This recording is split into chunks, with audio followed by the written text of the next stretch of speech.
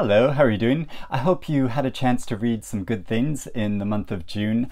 I read quite a few books. Um, some of them I absolutely loved. Uh, one I'm still feeling quite confused about, not really sure how I feel about it, and there was one book that I did not finish. Um, so I'm going to go through and discuss all of the books uh, individually that I read this month, uh, starting with Mischief Acts by Zoe Gilbert, uh, which is such a creative and a really enjoyable book. So it's framed around this figure from English mythology uh, called Herne the Hunter, uh, who first appeared in literary form in Shakespeare's The Merry Wives of Windsor, uh, though I think you know he existed as a figure of folklore uh, that was sort of discussed in uh, in communities uh, before that, and he is a figure that that is said to have horns growing from his head and he rides on a horse and he causes mischief.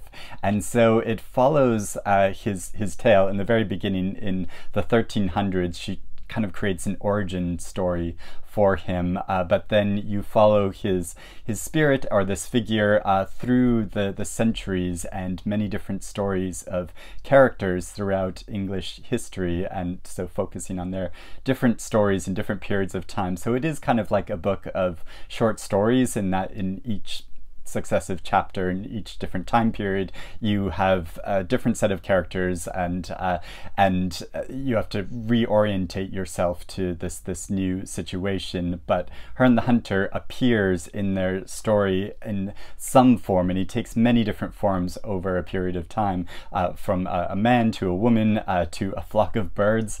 And uh, also he is pursued by this vengeful magician. So their drama is kind of played out over the centuries stories while also following these individual tales. So it's quite a complex structure and it's so in inventive uh, though and, and so enjoyable to, to read. And uh, each, each chapter um, takes a different form. I mean, some of them are kind of more traditional narratives, some are kind of journal entries or, or letters, um, some are told in song.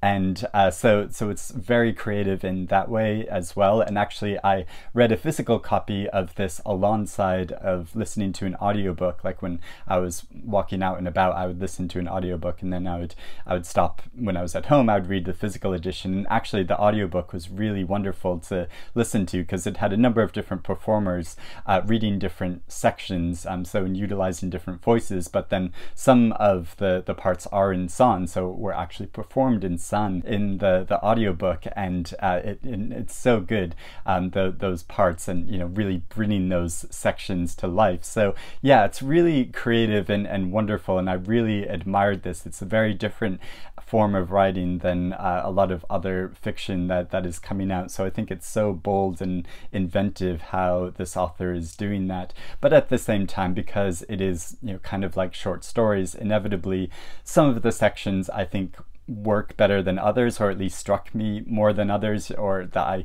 wanted to stay with them and know more about these characters' stories. Uh, and then it might go on to a section which, you know, I didn't enjoy quite as much, and so would have that kind of thing of being a bit resentful of having to, to leave uh, some of these stories but behind. Uh, so, yeah, there were some sections where there that I thought were the strongest of uh, there's a section about kind of wood nymphs and and like gossiping forest spirits um, that that was so enjoyable and fun. And uh, there's also a section of a very pious uh, religious man who's trying to institute uh, morality in his community even though his his uh, his community around him kind of descends into debauchery and his frustration uh, about that I, I, just think is so funny and, and well observed. I mean he's a very likable man but he's just sort of it just all falls apart around him and there's a kind of pleasure in in following that. Uh, there's another kind of more modern section about the uh, difficulties of this relationship that gets into some issues of sexuality and and the the closeness or apartness in our relationships and what we understand about our partners. Um, I thought that was really well done. And uh, also, it goes into the future, into this kind of ecological disaster and and following how uh, society shifts and changes in in the future. So so yeah, there's a lot in this book, and and also I think in some sections the integration of Herne the Hunter works well than in better sec in other sections. But uh, but but yeah, at the same time, that the entire book is this wonderful creative feat that is so enjoyable to read. And then I tried to read Antonio by Beatriz Bracher. Um, I, I, mean, I, I, got a good way into this novel, uh, which uh, is by a Brazilian writer, and it's following a, a man named Benjamin um, who's just about to become a father, but then he uncovers this shocking family secret uh, about his lineage, and uh, and so then he tries to understand uh, more about his past and his family um, through talking to some members of his family and people that that knew his his father and grandfather, and uh, and so he has to try to piece together the the story of what really occurred and what went on in his family. And I love the idea of that that structure. I, I think that's very poignant and and moving. But then the actual experience of reading this, I got so confused that I just felt a bit lost in, in the story and really couldn't understand. And there were there are quite a few characters, and I just they they were getting a bit mixed up for me. And uh, and I think even though the the the chapter, chapters are quite short and their sections are, are quite short even though it goes back to some of the same characters at different points. And uh, yeah so it just felt like a very elaborate puzzle and I just got a bit lost in it and so frustrated by it and um, and felt like I wasn't getting much out of it because I was so lost. So so I felt really bad about that. I, I but at the same time I I just knew this um, this reading experience wasn't working for me. I mean, if I was gonna sit down and really concentrate on it, I think I would get a lot more about it. But I just didn't have the patience at, the time that I was reading it to continue on with it. So maybe it is a book that I'll revisit at, at some point. Because, um, like I said, the the structure for it I thought was really inventive, and there were some points and and some sections where I felt really in it and really interested in it. But then as a whole, I just felt so lost that I, I just had to put it aside. Need to take a sip of tea. okay, The Men by Sandra Newman. Uh, I want to start off by saying this is a beautiful cover. Uh, it's so gorgeous, this kind of gold foil and the the figures outlined all throughout it. Um, it speaks so well to uh, the, the content of this book, and it's just gorgeous to look at and kind of shine in front of my camera. But uh, the actual reading experience of it was quite uh, baffling in, in some ways, uh, or I, yeah, I, felt very mixed uh, about this book. Uh, so it begins with a sort of global incident where everyone with a Y chromosome disappears suddenly from the earth. All of the men just disappear and uh, vanish, and the women are left behind, uh, wondering like, what? Wait, what happened? And also because of you know almost half of civilization suddenly disappearing, it creates a lot of disruption and problems. And um, so structurally, like society tries to keep itself together because uh, suddenly half the workforce and half the, the people um, living on the planet have just uh, have just gone.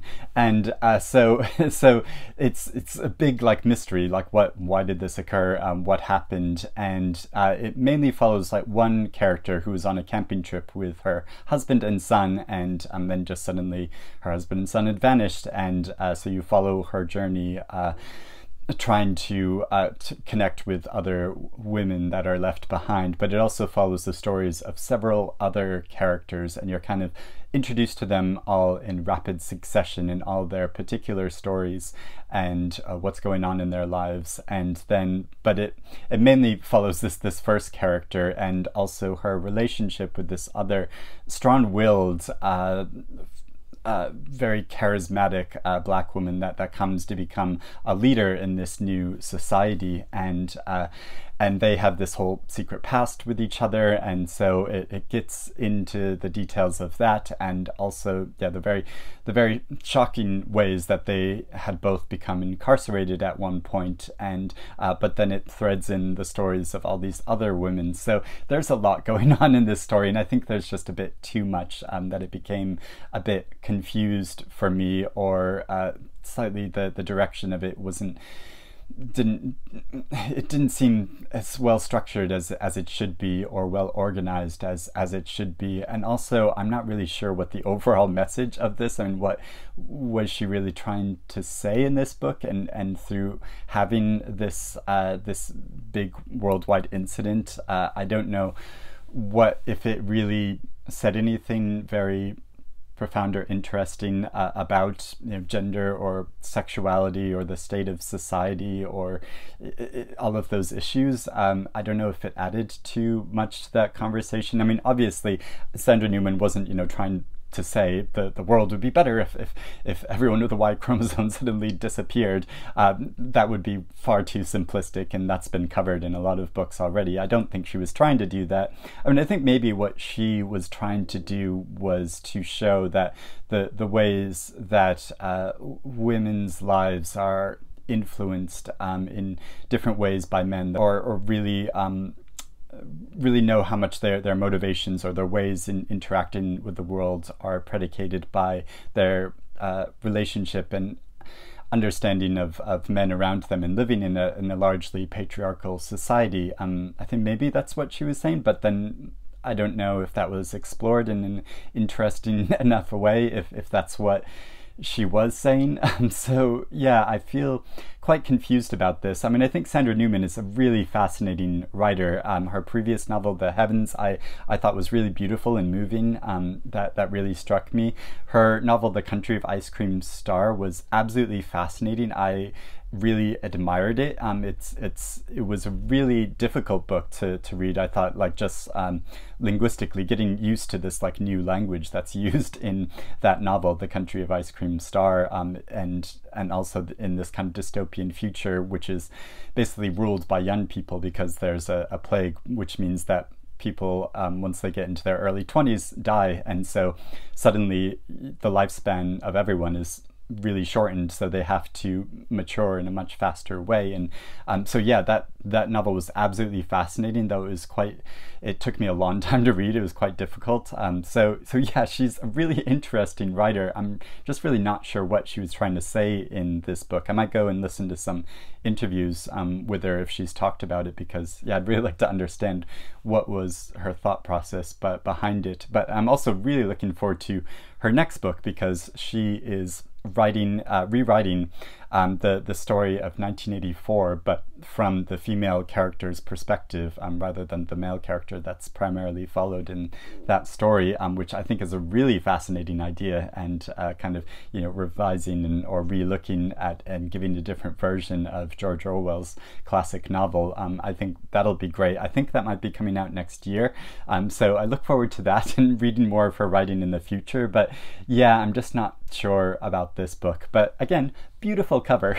I read a couple of non-fiction books, which is kind of unusual for me because I don't often read all that much non-fiction. Uh, but first off, I read uh, The Ruin of All Witches by Malcolm Gaskill, uh, which is subtitled Life and Death in the New World, uh, which I, I, read because uh, it was shortlisted for this year's Wolfson History Prize, um, so a non-fiction prize, uh, which I always enjoy following, and each year the, the prize offers to send me a book from their shortlist. And and so I, I love getting suggestions of good new nonfiction that I I should read. And so yeah, it's the kind of book that I wouldn't ordinarily pick up right away, but I'm so glad I read this. It was a really enjoyable experience as well as a very informative one. And why it works so well for me personally is because I'm someone that primarily reads novels. Um, so as I was saying, not so much nonfiction, but this reads almost like a, a novel as well as um, really sticking to uh, factual experience from the past and, and the research um, that this author did uh, about this this time period in the 1600s in New England in a small uh, colony in Massachusetts, um, so a small town that was forming at, at the time, and uh, the people that had moved there were trying to make a new lives life for themselves there, uh, but also involves the the whole hysteria around witches at, at that time, and he he really focuses on that as a product of uh, this kind of clash between an old world ba- view based on religious ideas and uh, superstition, and then a kind of more new world view, you know, based more around science and, and facts, and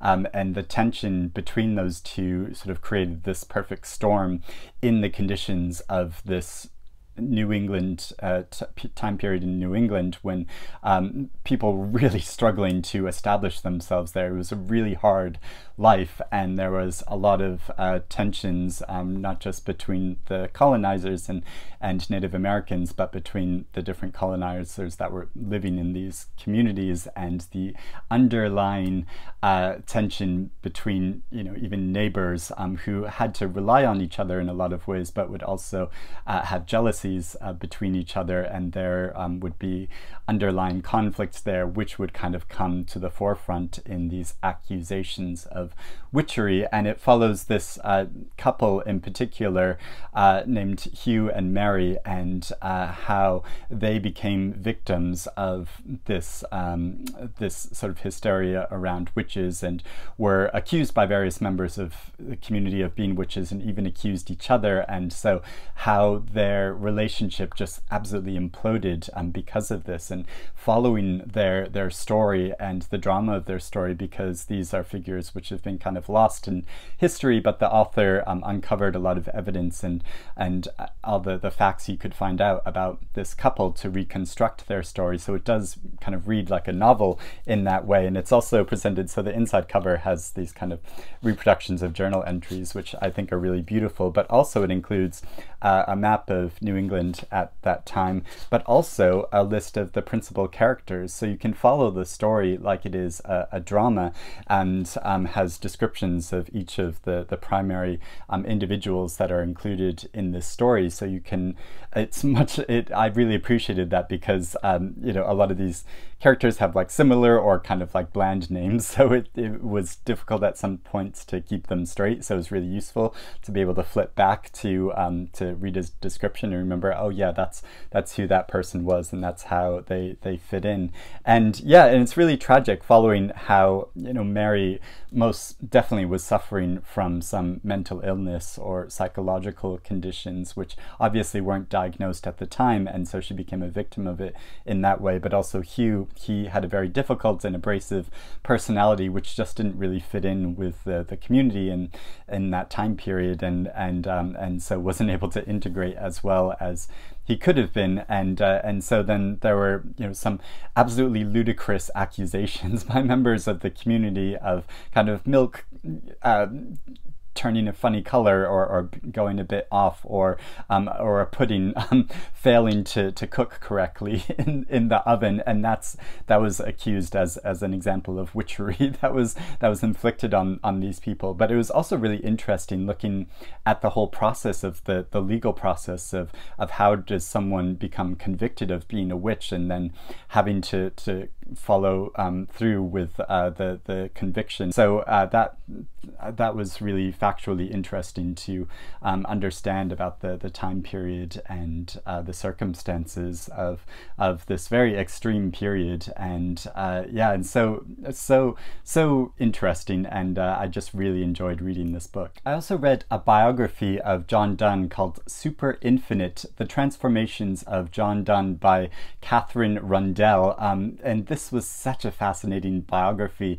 I've always been drawn to the poetry of John Donne, the, the his kind of romantic sense and how he uh, really captures the, the physical experience uh, of all of these emotions and desire. And uh, so I just really love his insightful poetry. And, and so as a teenager, I was really drawn to it. And I very pretentiously, in my high school yearbook, included a quote by John Donne in, under my, my photo in my, my senior year yearbook. But um, yeah, so uh, it was so fascinating reading about um, you know one of the great poets of uh, English literature, and one of the most fascinating facts I, I discovered about his life and his writing um, that I hadn't realized before. That so little of his poems as we know them today came from his actual hand or, or, or that we can attribute to um, necessarily being directly what he had written because um, he had written so many poems but then kind of sent them pe to people or, or gave them away um, as he was developing as as a poet rather than having them you know published. And so the a lot of the, the poems were kind of cobbled together over time and put together. I mean, they were recognized as, as great works and so circulated and spread a lot, but um, probably were changed somewhat over over time. And it was so fascinating how she she wrote about that and that, that whole process and why that happened. Because um, yeah, it's it's just so unusual for us to, to understand today of, of a writer's work coming through. Um, you know, we sort of take that the, the author you know was the person that actually wrote this but actually it's probably um, a lot of his poems you know come together in different forms. Um, so yeah that was really interesting but also he was such a fascinating figure and I love how she captures his personality while following the trajectory of his life and his many different as she says transformations through throughout his life because he was born into to um,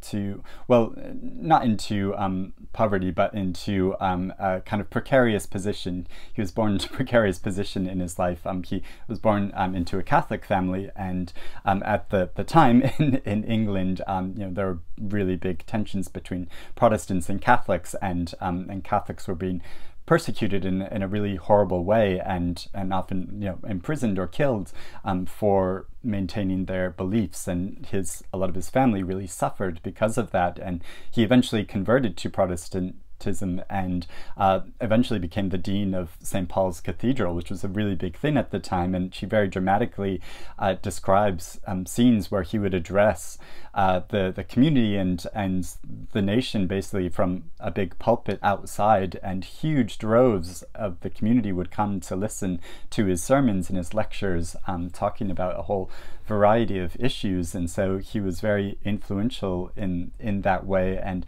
had such a way with words, and was so intelligent. But also how you know we can't take anything that he wrote or said as directly he, coming from his own belief system because um, she gets into this whole thing about how he would uh, have this whole system of there or there was this whole system of writing at the time to do with like contradictions and and to to write uh, uh, sort of situations or or um, thought exercises which included a lot of contradictions in them so didn't necessarily uh, you know, it's the the points he was making weren't necessarily his own, and um, and I think that's so interesting to to think about as well. But also his romantic life and um, and how you know you'd sort of assume from his romantic poetry that he would be this great lover, um, although he wasn't, you know, necessarily um, that, or at least from what we can deduce from um, the the facts of history, as um, Katherine Rundell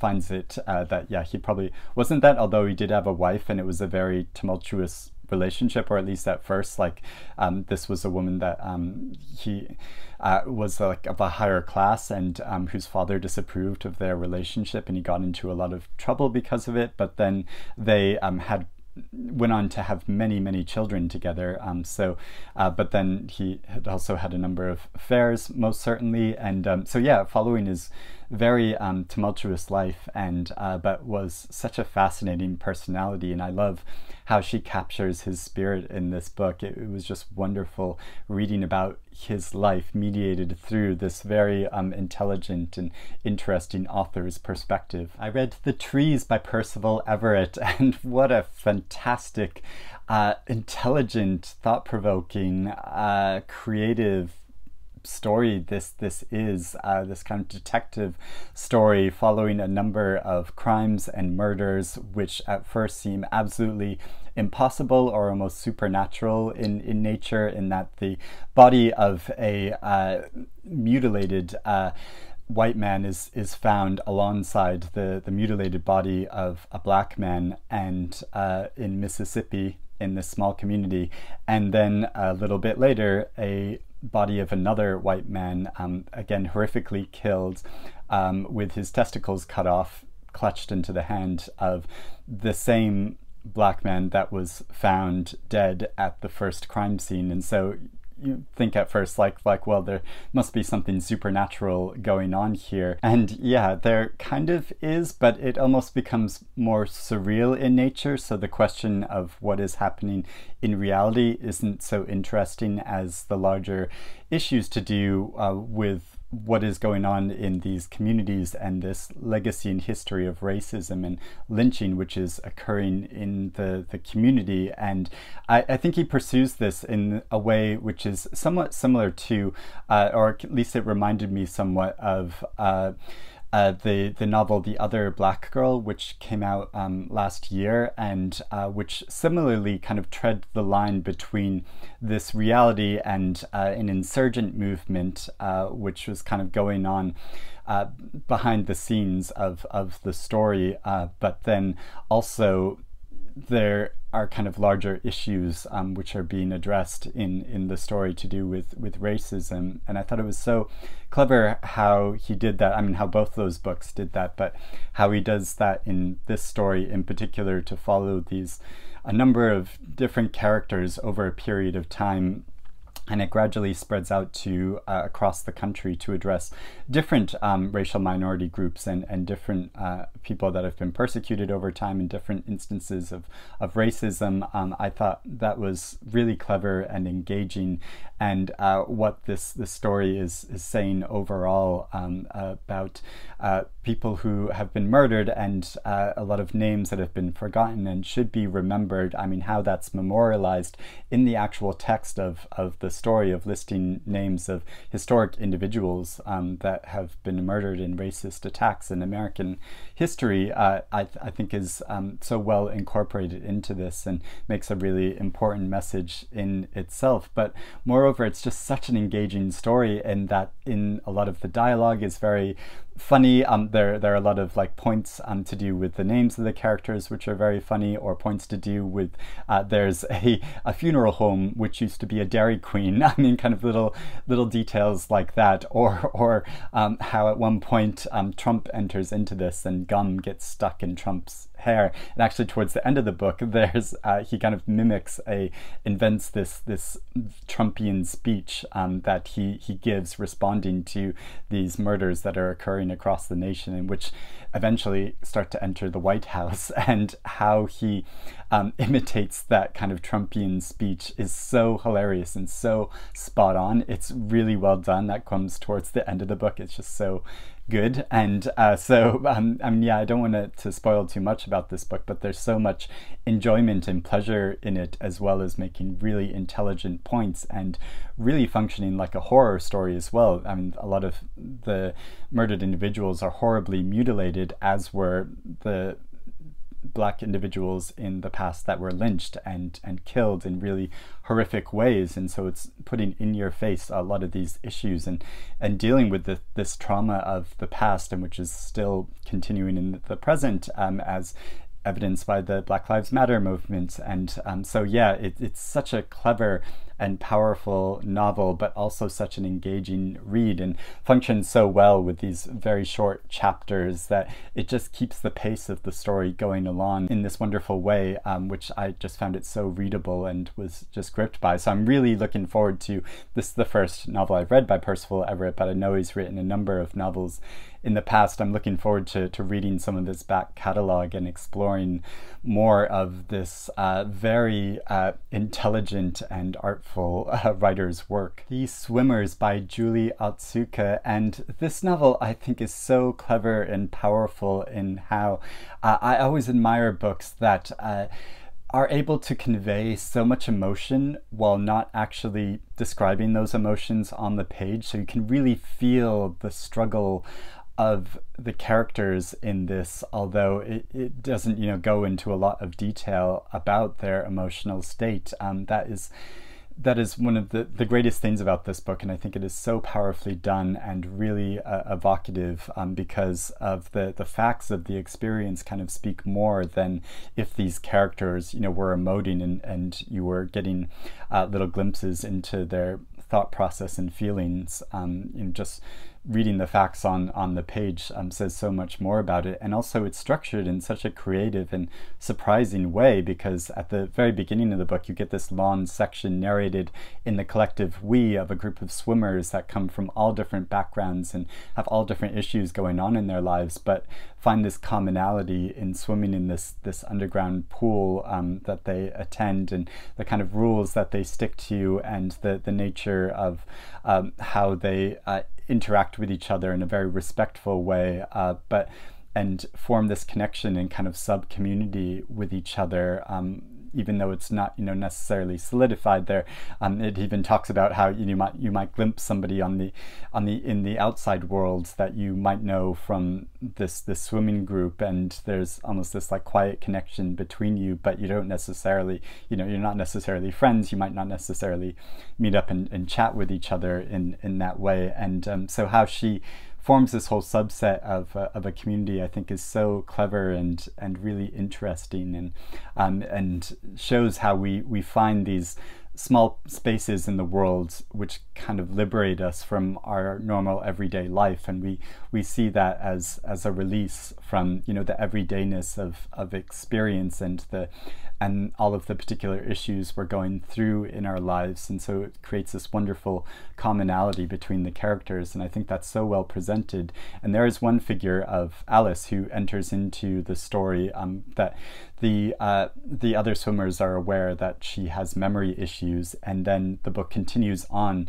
to show her struggles with Alzheimer's. And and I I know that people should really be aware of that issue is addressed in the novel before going into reading it because if, if that is something you are dealing with um, and and I you know myself know somebody um, well that is that is dealing with a family member you know that is going through this and and I, I said really plainly to her like I don't know whether I should recommend this book to you. It might be consoling in as a kind of touchstone in, in a way of of knowing you know the issues that are going through, but at the same time it might be uh, too intense and and alarming. Um, so I, I think you should be aware of that before going into reading this. But it does handle that subject matter in a really sympathetic and moving way. Um, again, moving because it just kind of goes into the facts of it. There's a long section which is just um, Alice um, being given the rules of this new care home that she goes to live in, that her daughter places her in, and um, and rules that are obviously meant to protect the residents um, and and in their care for them, but are also, you know, inhibiting their, their freedom. And um, and so there's the whole tragic tension of of that that um, that they really want to care for these residents, but at the same time they're kind of being institutionalized and drawn into a system where all aspects of their personality and their their own personal freedom is is is kind of wiped out. And um, and yeah, that is really heartbreaking and sad. Um, and you increasingly come to feel the the daughter's dilemma of putting her mother in this place and uh, her very difficult connection, um, trying to maintain a connection with her while losing her mother. Um, her mother is increasingly forgetting more things uh, about her life. And um, so, yeah, I'm just getting so swept up and emotional just talking about it. Um, so yeah, it's incredibly moving and powerful, and I think she captures that experience so well, and it's such a, a powerful statement she makes in this book. But um, but again, yeah, I'd be cautious about whether to recommend this, and um, and you should be aware that these are the issues that are talked about before going into reading it. But again, I would wholeheartedly recommend this book because I think it's it's brilliant. Whew, I just have to calm myself down and dry my eyes before talking about the next book, um, which is uh, I'll only talk about briefly because I'm still reading it. I'm I'm in the middle of reading Glory by NoViolet Bulawayo. Um, her new novel, which is so creative. It kind of it's a play on Animal Farm in that it uh, it it fictionalizes an African nation and the um, and the the fall of a uh, kind of dictator leader um, who's been ruling the country for many years, and there's a coup, and it makes way for this new society, which might not be better than the old one, and that is still wrestling with issues to do with its colonial past, and um, so, but all of the characters in it are different animals, and um, so it is playing on George Orwell's Animal Farm in that way. And at first, I wasn't so sure, like, did it really need this structure and, and form um, that George Orwell used on it, but actually it's I think it's working so well and it's really effective and it's making a very pointed message, you know, continuing on with George Orwell's message and incorporating into it a lot of issues to do that that we're facing in our society to um, do with social media and this kind of like double speak of, of people saying things which don't mean what they actually mean. And and that George Orwell handled a lot in his fiction and she picks up on that and takes a modern um, spin on that in such a fascinating way. So I'm really enjoying this this book. It is so uh, creative and um, and it's increasingly as I'm reading more of it, it feels even more personal to the author herself. I think she's kind of entering into it in a in a way which is quite like surprising and that I didn't expect. Um, and uh, that's me slightly making a presumption of, of that's the author entering this, but it kind of feels that way. It's suddenly from going to this like wide society view to this very personal view um, I think is is really powerful. So yeah I'm really enjoying this and look forward to, to reading more of it. So those are all the books that I read or read part of in the month of June but I'd love to know if you've read any of these books and or if you're interested in reading any of these books or if you want to tell me about any great books that you read in the past month I'd love to know about that in the comments below. But hope you're doing well and reading good things and drinking calming cups of tea and coffee while doing your reading, and I'll speak to you again soon. Bye bye.